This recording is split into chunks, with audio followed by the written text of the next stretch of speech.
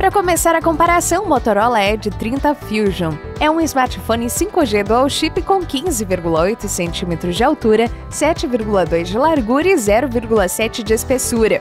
Por sua vez, o Samsung Galaxy A73 5G também é um aparelho 5G dual chip, mas com 16,4 centímetros de altura, 7,6 de largura e 0,7 de espessura.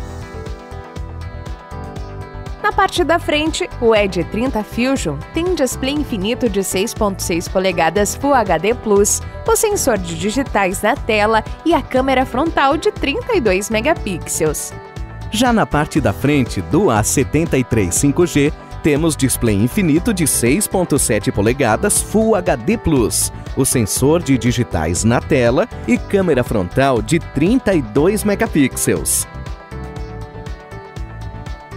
Agora, na parte traseira do Edge 30 Fusion, vem a câmera principal tripla de 50, 13 e 2 megapixels com flash.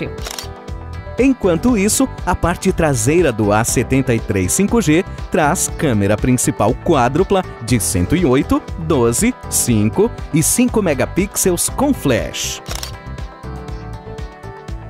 Para rodar jogos e aplicativos, o Edge 30 Fusion foi lançado com sistema Android 12 e processador octa-core junto com 8 GB de memória RAM. Já o A73 5G também veio com Android 12 e processador octa-core ligado com 8 GB de RAM.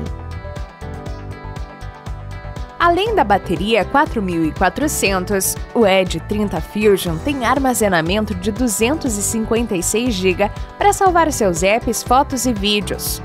Do outro lado, o A73 5G conta com bateria 5000 e com armazenamento de 128 GB, expansível até mais 1 TB em slot híbrido. Não se esqueça que aqui na descrição do vídeo você pode acessar o link para comprar os celulares e acessórios. E para terminar, os destaques finais do Edge 30 Fusion são as bordas curvas com várias funções, as câmeras com estabilização ótica em modo noturno e os alto-falantes estéreo. E os destaques finais do A73 5G são os alto-falantes estéreo, as câmeras com modo noturno e estabilização ótica, e a proteção contra água e poeira. Legal, né? Confira nossas dicas para os dois celulares, os links na descrição do vídeo e se inscreva também no canal.